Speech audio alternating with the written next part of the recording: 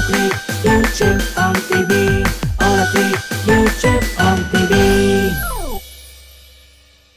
どうもこんにちは。こんにちは。オラトリックです。モラトリックです。たかしでマヤす。ピーですであのどうしたんですか今日は？はい、まあ、今日はですね音楽界のん。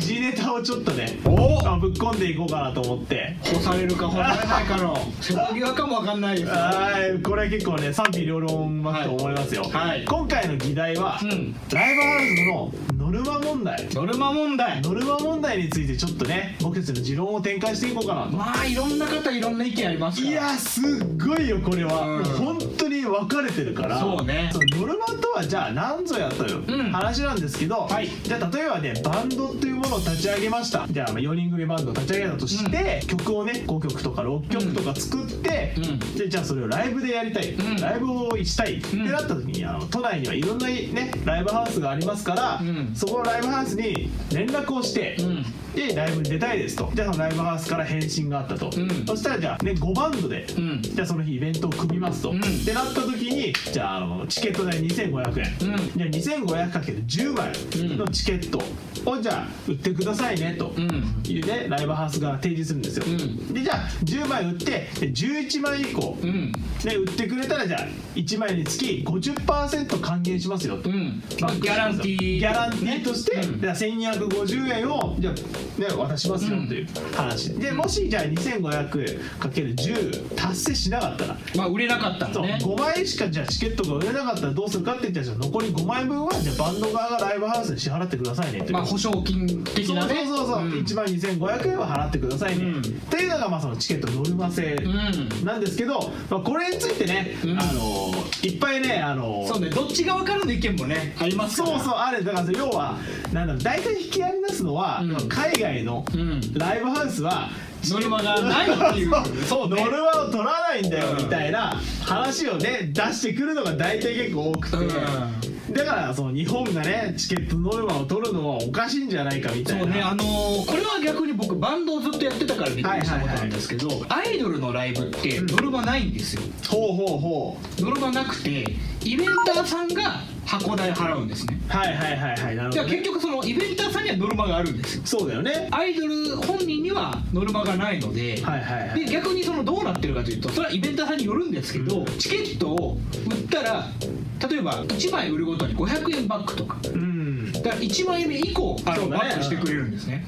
だから本人たちには痛手がないんですよ。そうだね。もう入ってくる全く呼ばなかったらもうゼロですけど。そうだね。だからなんかそのバンドとはちょっと違うんですけど。確かに確かに確かに。そうバンドがそうだったらいいなと思ってた瞬間はありましたやっぱり。まあそうだよね。俺もやっぱりバンドやってるからやっぱりねそのチケットじゃノルマがなかない方がまあノーリスクでライブがやれるから、うん。でいっぱいライブを打てるじゃんみたいな、うん。話になるんだけど、ん。でもそれはバンド側からのまあ意見じゃないですか、うん。じゃあ逆にライブハウスとかね側から考えたら結局ライブハウスも経営じゃないですか。そういうことですね。絶対的にさ、うん。でこれがじゃあ普通の飲食店、うん。要はライブレストランみたいな話だったら、じゃあねカレーとか、うん。パスタとか、うん。そういうのもで一応その、うん。ね現金として返ってくるわけだから経営はできるけど、ん。ライブハウスって基本的にはまあドリンクだけです代だけじゃないですか、うん。じゃあそれだけでやっていけるかって言ったら無理じゃない。そういうことですよね。そんな渋谷でね、うん。一等地のところでん。家賃なんてバカにならないわけだから、うんだったらどうするかって言ったら最低限の保証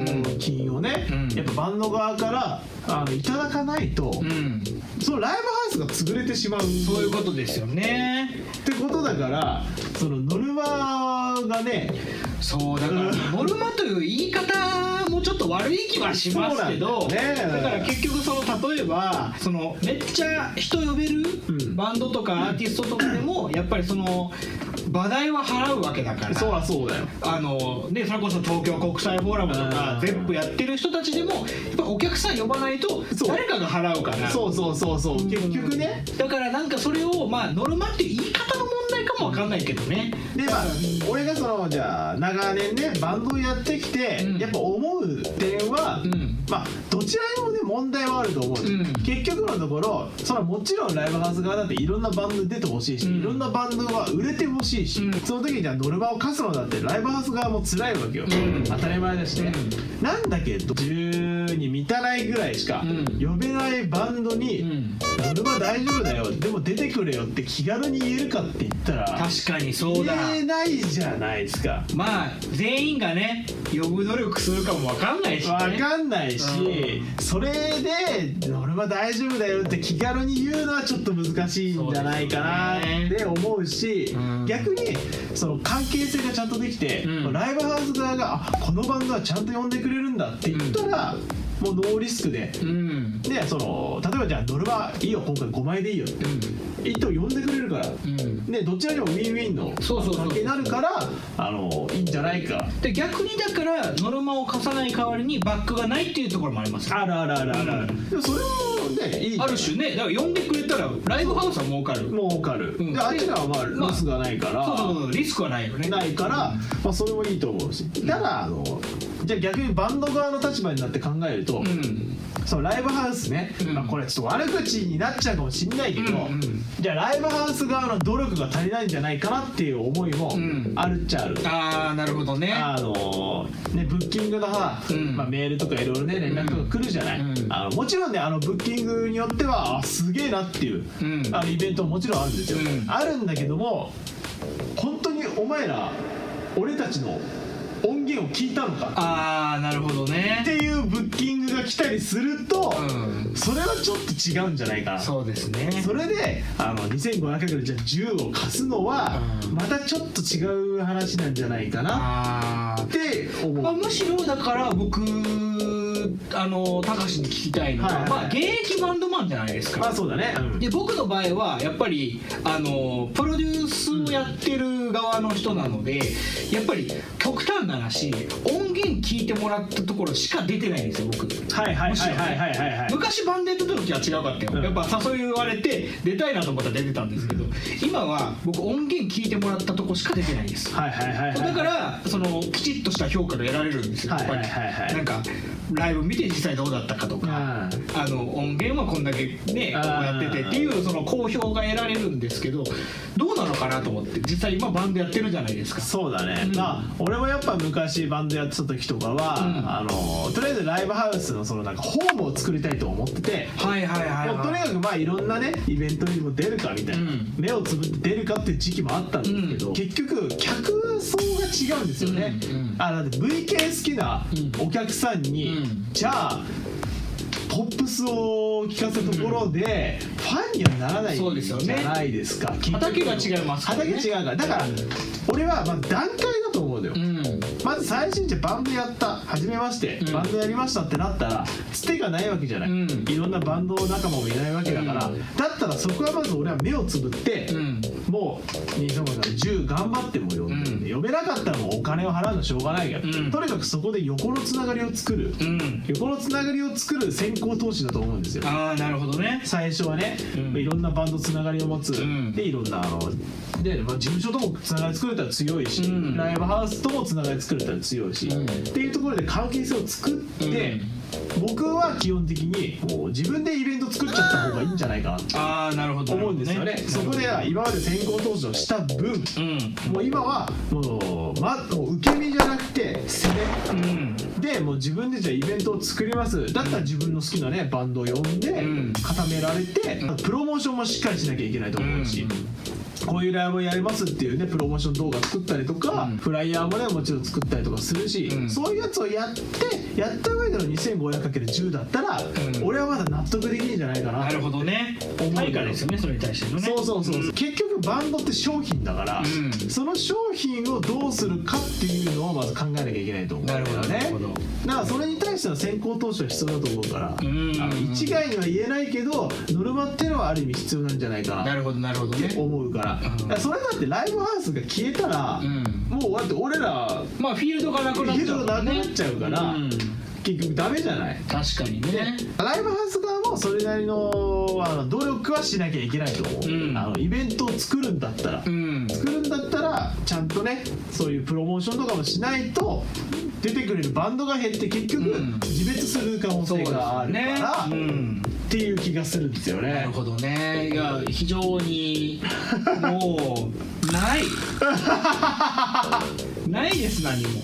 まあでも本当にその通りだと思うんで、んうん。でもやっぱりこっちがこう、まあ、僕はだからそれをちょっと思ってたからこそあの会場を選ぶようにしました。そうだね。やっぱりしっかりまあそれ言うとね僕が出てるライブハウスは以外がダメみたいになっちゃうから。そういうわけじゃなくてちゃんと音源を聞いてくれていいなと思うライブハウスにやっぱりこっちは選んでいくようにしましたね。そうだね。むしろ。だからそれは今まで取ったね、うん。あの行動が下地にあってのそうそうそうそう。じゃない。最初の頃は無理じゃん。分かんないからね。どのライブハウスだってちっちゃいから悪い大きいからいいってわけじゃない。そういうことです。ライブハウスは。そうなんですよ。まああの音の違いはもちろんあるけど。ね大きさの違いあるけどちっちゃいから悪いではないから。人がやってるからねそう。ちっちゃくてもいいライブハウスはあるしいっぱいあるいっぱいある。大きくても逆に大きいだけのライブハウスそうそうそうそうそうそうそう。結局のところ、だからみんなねあのねちっちゃいからといってバカにしちゃダメだよ。そうだから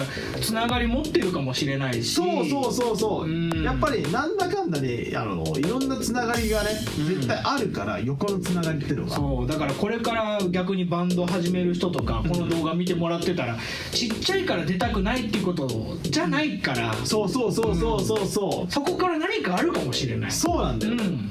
ノルマ問題っていうのは非常に難しい問題だけどだから一言言うのは、うん。海外の話を出すのはうん。違うと思う、ああなるほどなるほどなるほどね。海外は海外だから。そう日本は日本です日本は日本だから。でも営業の形態がそもそも違うと思うんだよ。そうなんですよね。海外とね日本では。日本のやり方があるし海外には海外でしかできないこともあるし。そうですよね。動いてるお金も違うしね。そうですね。そもそもが。海外引き合いに出すのはね俺違うと思うんだよだねからまあ日本でじゃあ日本でやってるからこそのフィールドを自分でちゃんとやっていくことがやっぱりまあビジネスだと思うそうそうそうそう、うん。だから土壌を広げるわけだよね。そうですね。やっぱねあの関係性と段階とうん。努力だね。うん。うん。まあもうその通りです これだけです。ね真面目な話になっちゃったけど、はい。いやでも本当にそうですよ。だからまあ 本当にあってはならない。ものだと思うんで、うん。まあなくしたらいいっていうことはもう一概に言えないです。けどみんなでなんかこうそう困らないよううん。な感じでやっていけたらいいんじゃないかないいんじゃないかなって、うん。それにねちょっと付随して、うん。まあ、宣伝じゃないけど、ん。多分僕らね、はい。あの来年らへんからね、はい。あのオラトリックのはい。イベントやりますよそうです。ねはい。オラトリックはえっ、とまあ YouTube だけじゃなくてやっぱ僕ら3次元の人なんで。30人の人画なんで。面上の人じゃなくて3次元の人で行きたいなっていうことなんで。はい。あのイベントやります。はい、はい。もうまあまあ長く決まってないですよ。あ全然決まってない。全然決まってない。決まってないけど、はい。だって俺らがそこんなノルマ問題をさ、はい。偉そうに言って「いやお前ら何もやらないんかい」みたいなそうそうそうそう。だから 僕らは音楽業界を潤していきたい。そういう気持ちでイベントやります。イベントはちゃんと作ります、うん。あの僕たちがでもいいと思うはい。方たちを集めて、うん。でもちろん俺たちがね、まあ、オラトリック主催でやるんで、うん。僕らもずっと動いてますよ、はい。それこそ、うん。ずっと動いててあのイベントをねやろうと思うので、はい。よろしくお願いします。というわけで今日はイベントにぜひ出てくださいっていう動画でした。あああそうです。はい。どうもありがとうございました